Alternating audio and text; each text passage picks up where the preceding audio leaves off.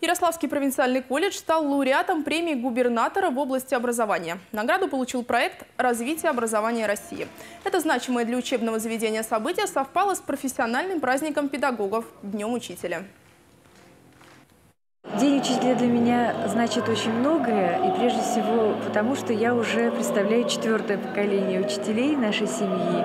Вот, поэтому, конечно, в семье это всегда был такой вот очень значимый праздник. И сегодня губернатор Ярославской области Дмитрий Миронов вручил почетные грамоты педагогам региона. Дипломами и знаками лауреата губернаторской премии отмечены коллективы ряда школ, гимназий и детских садов.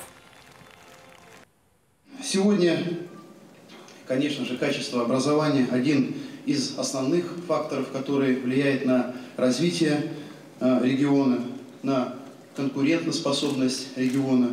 И поэтому э, в большинстве своем а, правительство области уделяет очень большое внимание развитию этой сферы.